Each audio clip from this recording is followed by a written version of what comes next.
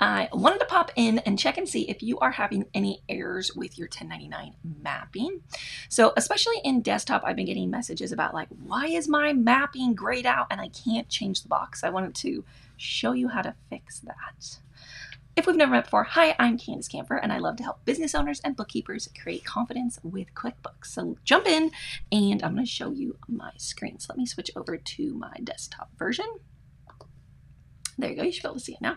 So why this is happening is probably because your mapping is done wrong on the other. So there's two forms, right? There's the 1099 NEC and the 1099 miscellaneous.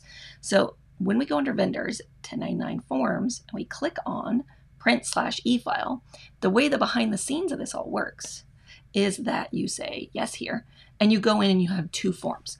So if when you're going in and you click on get started and you walk through the process of doing your forms and you get to the screen and say you come down here and you're like, why can't I click? I need to change this job supplies to my 1099.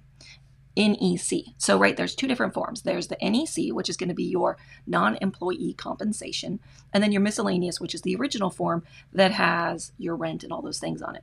So, what you need to do is if you're in the 1099 NEC and you want to pick an account, and it won't let you do this where it drops down like normal, where you would pick that it's non employee compensation like these ones down here that are grayed out, that's because they're getting used on the miscellaneous form. Okay. So two things. One, you want to always make sure you have like all your accounts if you're not seeing something that you need.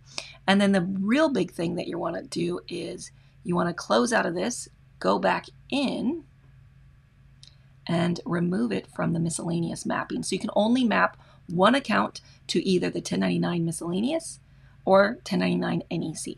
So if it's already grayed out, when you go to use it for the NEC, it's because it's used in the miscellaneous. So you want to go in here, click get started, go into that account that you're wanting to use that you see to the left, and you say, this I want to omit. When you omit it here, then you can go find it inside the missile, um, the NEC. If you can't get it on the miscellaneous because it's linked in the NEC, then you want to omit it there. So you just have to know each of your expense categories which form do you want it on? And if you can't get it on the other form, it's because it's already used by this one. Does that make sense? So just like in here, we're in the miscellaneous now, you can't change these because the NEC has picked them. You can only have one expense category, one account in QuickBooks linked to one form. Okay, so go in, omit it from the other form, save and close it, go back in, and you'll see it's now available to be mapped on the NEC or the opposite. The same applies either direction that you're going.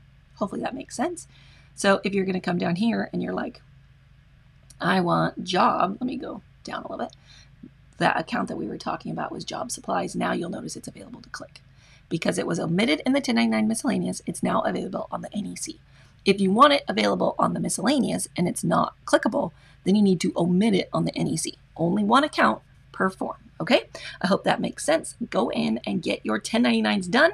I wanted to give you this tip because today's the day, um, especially for your NEC forms. So let me know below if you have any other questions. Don't forget to give us a thumbs up and like this video. And if you have not followed us before, make sure you follow so you get all of our tips and tricks. I look forward to seeing you inside our next tip and trick.